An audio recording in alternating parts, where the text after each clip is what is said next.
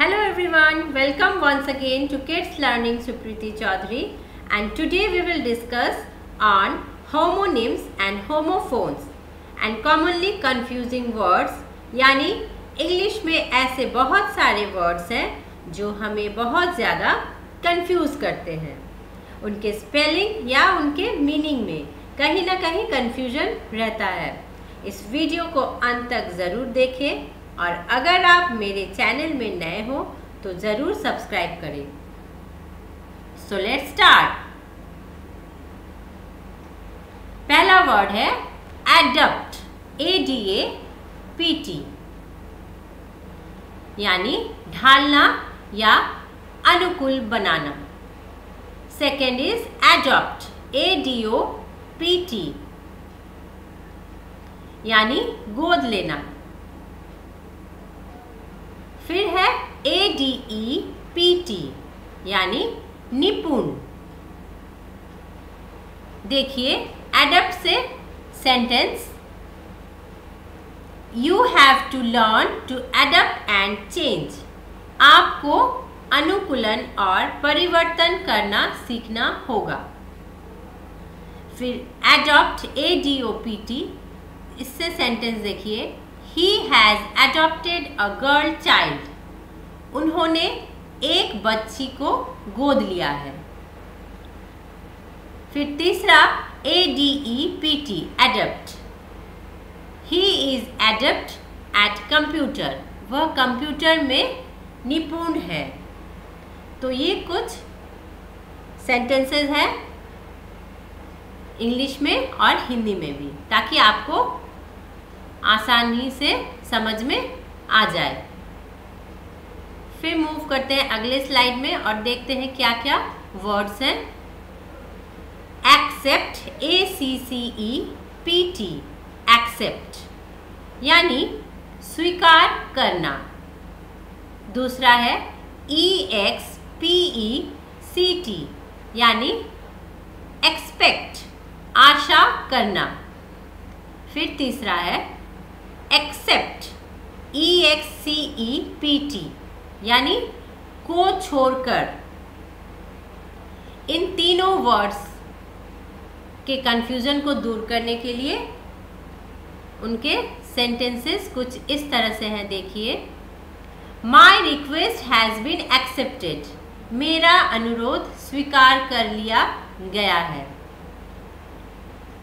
E X P E C T expect यानी आशा करना। Don't expect me to come and visit you there मेरे वहाँ आने और आपसे मिलने की उम्मीद ना करें। फिर है E X C E P T except nothing more to do now except wait अब और कुछ नहीं करना है सिवाय इंतज़ार के मैं उम्मीद करती हूँ आपको इन सेंटेंस के द्वारा इनके मीनिंग्स अच्छे से समझ में आ रहा होगा। चलिए, फिर अगले स्लाइड में चलते हैं। फिर cast C S T cast यानी फेंकना या डालना। फिर है C O S T cost यानी कीमत। C A S T E caste यानी जाति। इनके मीनिंग्स अलग अलग हैं बट साउंड इनके सेम है। तो इनसे सेंटेंस देखते हैं। पहला है C S T cast the tree cast a long shadow on the lawn पेड़ ने लान पर एक लंबी छाया डाली। Second C O S T cost the cost of book is rupees fifty पुस्तक की कीमत पचास रुपये C S T E caste यानी जाति he was from a higher caste वह ऊँची जाति का था। अगला word rain R A I N rain यानी वर्षा। R E I G N reign यानी शासन शासन। फिर है R E I N rein यानी लगाम लगाम। आर ए आई एन से sentence the rains came and flooded the valley बारिश आई और घाटी में पानी भर गया। R A I G N reign यानी the reign of Ashoka was a golden period in India Ashoka का शासनकाल भारत में एक सर्वनिर्माण काल था अशोक का शासनकाल भारत में एक सर्वनिम काल था R E I N rein you should rein in the expenditure आपको खर्च में लगाम लगानी चाहिए। तो मैंने ये सारे एग्जाम्पल्स वर्ड्स के इसीलिए दिए हैं ताकि आपको कोई कंफ्यूजन ना रहे। चलिए मूव करते हैं नेक्स्ट स्लाइड में और देखते हैं कि क्या क्या कंफ्यूजिंग वर्ड्स हैं जो आपको अक्सर कंफ्यूज करते हैं। B E E R B double E R यानी beer B E A R bear यानी सहन करना B A R E bare यानी नंगा। सेंटेंसेस कुछ इस तरह से हैं। B double E R beer he ordered a pint of beer उसने एक पिंट बियर का ऑर्डर दिया। B E A R bear a bears all mistake of his son वह अपने बेटे की हर गलती सहता है। B A R E bare don't walk outside in your bare feet यानी नंगे पाँव बाहर ना घूमे। नेक्स्ट है एफ़ ओ आर फॉर यानी के लिए। F O R E fore यानी सामने। F O U R four चार। इनसे सेंटेंस देखिए। He fight for the country वो देश के लिए लड़ते हैं। F O R E fore your seat is in the fore part of the aircraft आपकी सीट विमान के सामने वाले हिस्से में है। F O U R four यानी चार। We got up at four in the morning हम सुबह चार बजे उठे। फिर है hail H A I L hail यानी ओले या चपेट।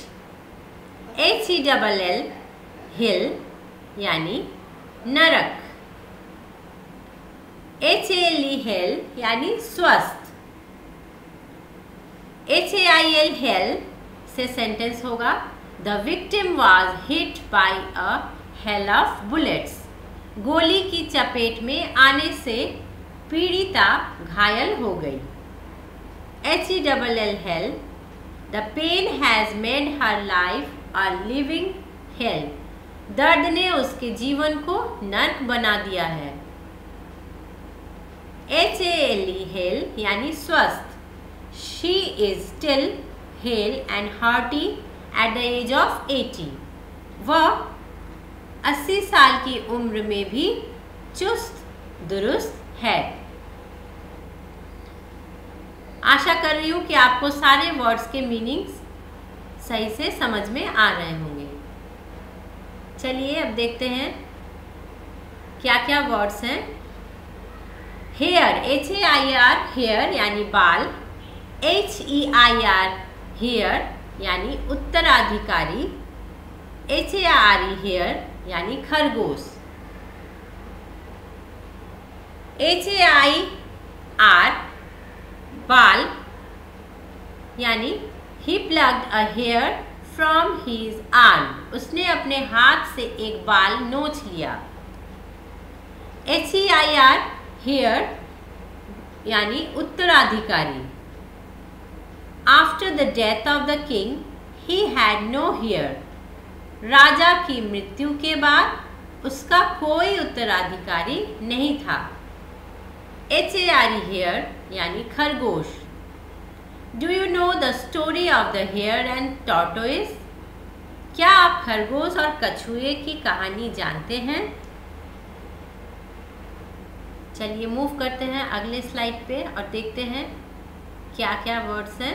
यहाँ पे देखिए, पहला है right R I G S T right यानी सही। R I T E rite यानी रिवाज। W R I T write यानी लिखना। तो right R I G S T right hope आपको समझ में आ गया होगा। फिर है S T double E L steel यानी steel S T I double L still यानी अभी तक। S T E L steal यानी चुराना। चलिए मूव करते हैं और देखते हैं अगली स्लाइड्स में क्या क्या है। T A L E tale यानी कहानी। किसी को कहानी सुनाना। टी ई डबल एल यानी कहना या बोलना। T A I L tail यानी पूछ। तो यहाँ हर एक वर्ड्स के मीनिंग अलग हैं, पर उनके जो प्रोनाउंसिएशन है, वो सारे एक जैसे ही हैं। सारे सुनने में एक जैसे लगते हैं, पर उनकी जो मतलब निकलती है, सारी अलग हैं। वेस्ट यानी बर्बाद करना। डब्ल्यू एस टी वेस्ट यानी पश्चिम। W A I S T waist यानी कमर। ए C C E double S यानी पहुँच। E X C S S यानी अधिकता। फिर है A C C I D E N T accident यानी दुर्घटना। I N C I D E N T incident यानी घटना। यहाँ पे कंफ्यूजन क्लियर हुआ होगा आपको। एक्सीडेंट यानी दुर्घटना इंसिडेंट यानी कोई घटना। डी ए आर यानी प्रिय प्रिय व्यक्ति। D double E R deer यानी हिरण। डी ई ए आर यानी प्रिय। डी डबल ई आर यानी हिरन fair F A I R fair यानी गोरा F A R E fare यानी किराया farmer F A R M E R farmer यानी किसान F O R M E R यानी पूर्व H E A R hear यानी सुनना H E R E here यानी यहाँ। एच ई ए आर यानी सुनना। H E R E here माने यहाँ। H O L E hole यानी छेद। W H O L E whole यानी संपूर्ण। तो यहाँ पे कंफ्यूजन नहीं रखना है आपको।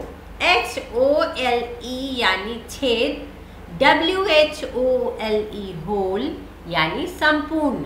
दोनों ही सेम प्रोनाउंसिएशन है सेम साउंड है बट इनके मीनिंग बिल्कुल अलग है।